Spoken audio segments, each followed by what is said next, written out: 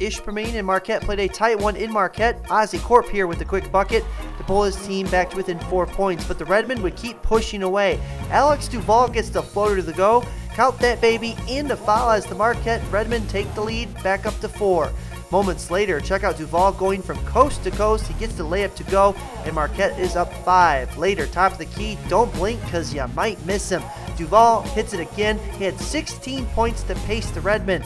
Last chance for the Hematites to tie it up. Hart Holmgren sends up the desperation three, and it does not go. It's out of bounds, ball to Marquette, and the Redmen stun Ishpeming with a big home W, 49-45 the final score. For state champs, I'm Jerry Taylor.